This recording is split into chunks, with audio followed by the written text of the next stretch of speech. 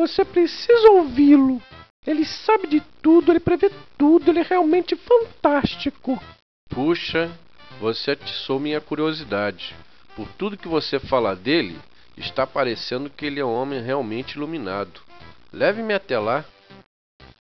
E eu, em verdade, vos digo: só morre quem está vivo, porque quem está morto não vive.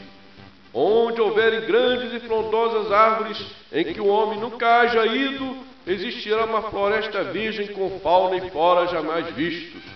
E onde não tiver fauna e flora, é um deserto. E o pico mais elevado da terra é o mais alto de todos.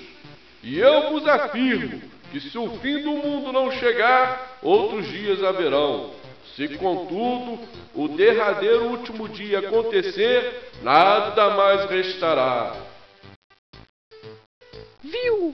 Eu não lhe disse. Realmente é incrível. Outra coisa eu afirmo com toda certeza: se vós estiverdes lá, não estareis cá. Se estiverdes cá, não estareis lá. Se vós não estiverdes nem cá, nem lá, com toda certeza estareis aí, noutro lugar.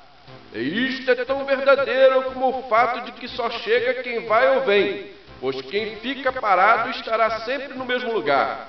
Quem vai, sai, quem volta, vem. Quem fica, não vai nem vem, já está.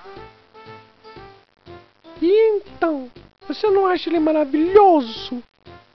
Sinceramente, se eu não olhasse e nem ouvisse, eu não acreditaria não.